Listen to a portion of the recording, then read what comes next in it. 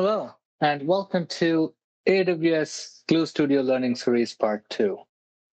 My name is Harsha Tadiparthi, and I'm a Specialist Senior Solutions Architect covering analytics at Amazon Web Services. During Part 1 of this series, you have learned the fundamentals of AWS Glue Studio and how to visually author ETL jobs without writing any code. Today, you're going to learn how to author complex ETL jobs using Glue Studio. Let me remind you that this is a three-part series where part three helps you develop streaming ETL jobs using Glue Studio. 70%. Take a moment to think about what it represents and how big it is.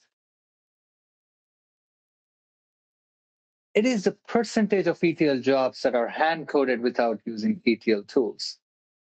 Well, we see that actually it's over 90% in the cloud. Why do you think that 70% of ETL jobs are hand coded? It is because it empowers the developers to perform complex data operations.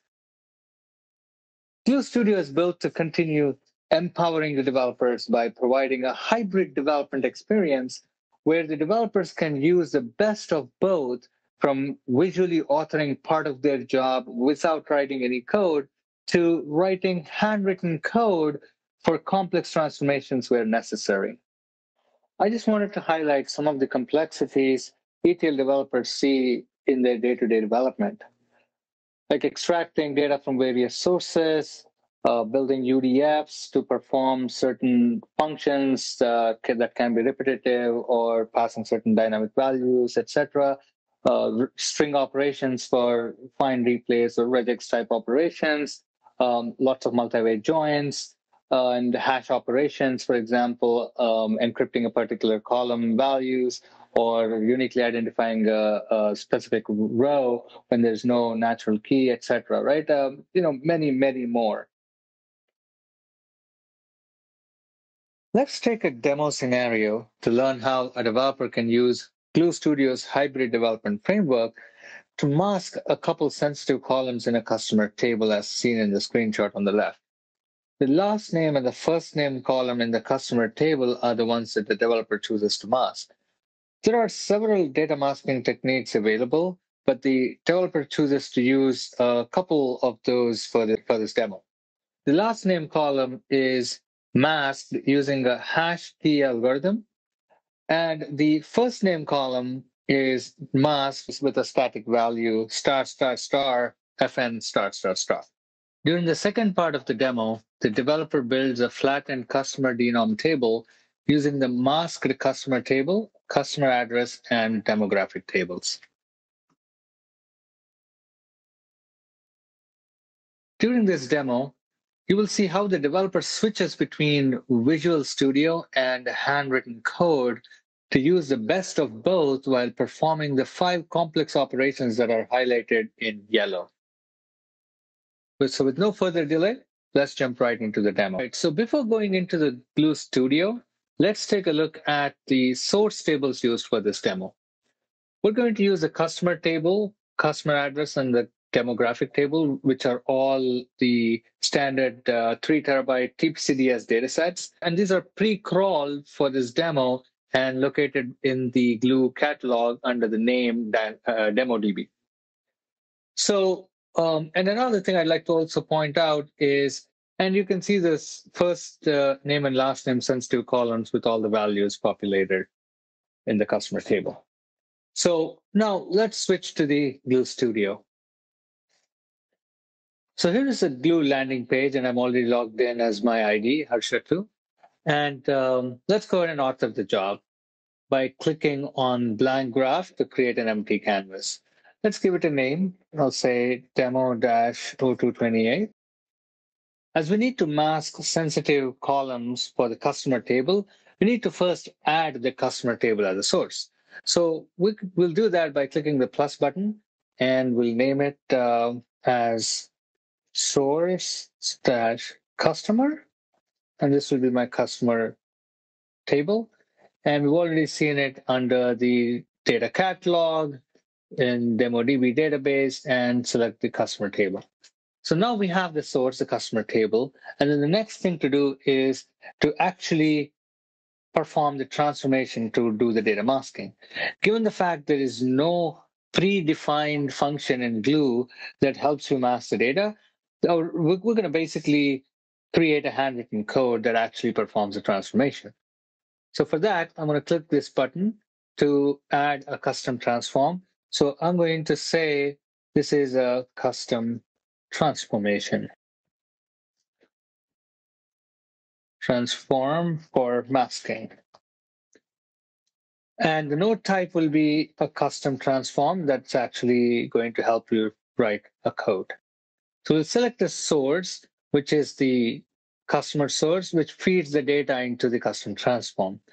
And now we click the transform tab to actually begin writing the custom code. So here, I've already pre-created uh, code, which I'm going to copy from another window and paste it here. One important thing to understand is a custom transform takes input as a dynamic frame collection and also outputs a dynamic frame collection. What is a dynamic frame collection, right? It is a dictionary of dynamic frame class objects in which the keys are names of the dynamic frames and values are the dynamic frame objects. In other words, the keys, as you call key zero, key one, key two, it's basically as simple as an array of dynamic frames. That's as simple as it. And and we only have one source, so you see key zero. But in reality, there can be three or four different sources that you may have, which all could be feeding the data into the custom transform. Let me quickly walk you through high level what this transform code is doing. I highly encourage you to use the GitHub link at the bottom of this video and read the comments to follow along what each step is doing. So here is the Python function that's basically performing a hash 256 encoding for last name column. We then converted the function into a Spark UDF, then created a derived column for encrypted last names. Now that the encrypted last names uh, column is created, we then go ahead and drop the uh, actual uh, sensitive last name column. We then use the resulting data frame and uh, create a temp table uh, to leverage the power of Spark SQL. And using Spark SQL, removed all the rows uh, in preparation to mask the first name column. Just removed all the nodes that has null, uh, or all the rows that has null values. And then finally replaced all the first name columns with uh, static uh, static value star ff uh, star star star fn star star star and um, and then the last thing which is the most important thing is to convert the uh, dynamic data frame spark data frame into a dynamic frame and also converting it back into an array of dynamic frame collection At this point, we have completed the transformation required to mask last name and first name columns from the customer table, and the resulting output is a dynamic frames uh, array. Let's name the output node masked customer.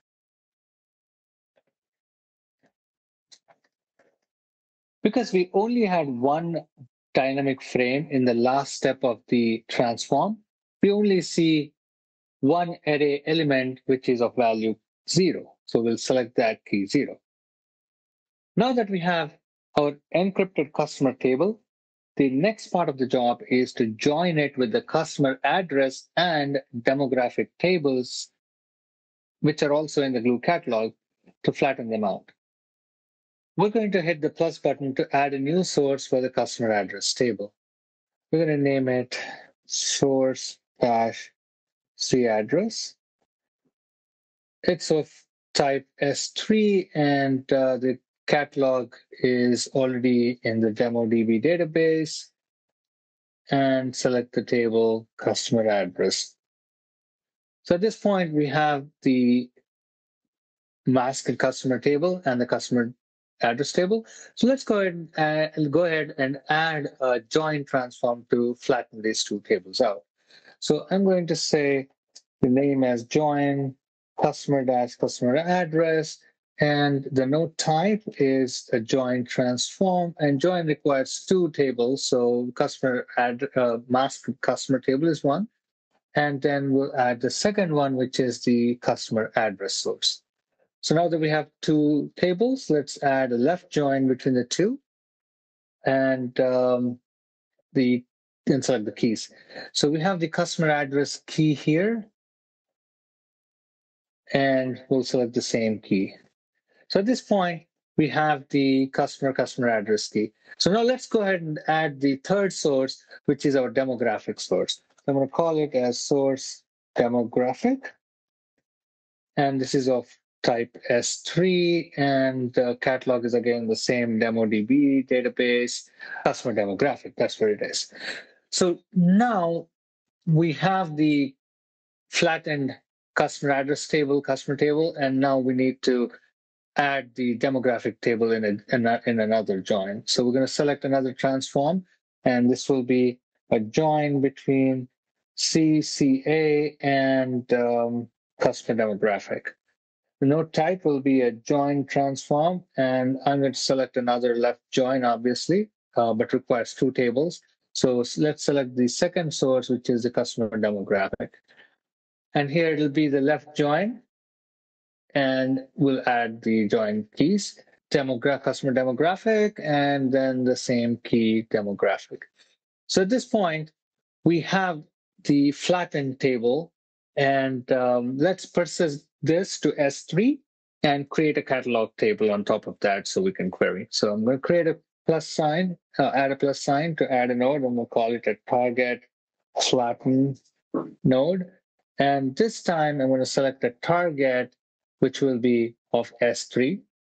And here the node parent is just the transformed um, transformed parent. And uh, the format, I'm going to select Glue Parquet and with snappy compression. And here I want to create a new table in my Glue catalog, and we'll give the name of the table. So I, I need it in the DemoDB database. And then I'm going to say demo dash encrypted dash 0228. All right. So at this point, my table is fully created and I can actually go ahead and look at the script here. This job runs for about six minutes. We can look at the monitoring tab just to look at the job that has pre previously run. And um, and this is a job that was previously run successfully, which ran for six minutes. So at this point, we let's take a quick look at the table, this table that it created, encrypted customer denom. So I'm going to do a preview table. And this will be a flattened table with the encrypted um, first name or, or masked first name and last name column.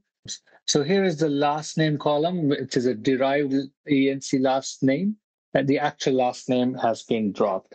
So these are the encrypted hash encrypted values. And here is the first name column, which has um, all of the values as uh, star, star, star, f, and star, star, star.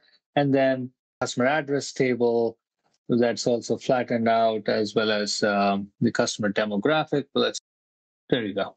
So the customer demographic table is also here, the marital status, gender, etc. So in this demo, You've seen how a developer can use complex ETL operations or functions and, and use the best of both, uh, writing handwritten code where necessary, and then using the configuration approach um, to, to, again, bring the best of both worlds. So let's do a quick recap. You learned Glue Studio is designed to empower the developers with a hybrid development framework. You also learned how Glue Studio enables developers to develop any complex ETL job. And finally, the demo helped you learn how Glue Studio's custom transform feature helps write code transformations using Scala or PySpark code. Thank you for watching this video and see you in the next video where you will learn how to build a streaming job using Glue Studio.